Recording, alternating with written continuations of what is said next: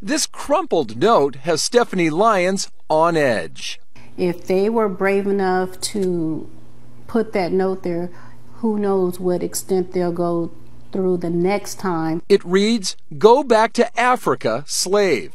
It was slipped under Charity Lyons' dorm room late Tuesday night on the UC Irvine campus. Charity is a freshman on an academic scholarship and a member of the UC Irvine track team. And her mother told 10 News last week an Asian student called her the N word. Also last week, an Asian fraternity was shut down for a year for this blackface video.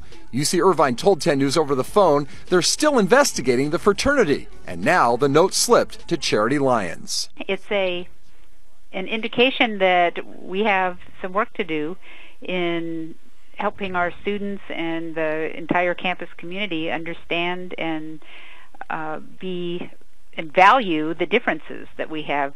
Ms. Lahan would not comment on whether racism, specifically between Asians and African Americans, is a problem on campus. Charity's mother says, regardless, she wants her daughter, who's on the dean's list, to transfer to another campus. I heard from my daughter because I feel like, you know, we, we should be past this and, and, and there's no justification for them to just, you know, be, be mean and be like this. In Hamishah, Chris Murphy, 10 News.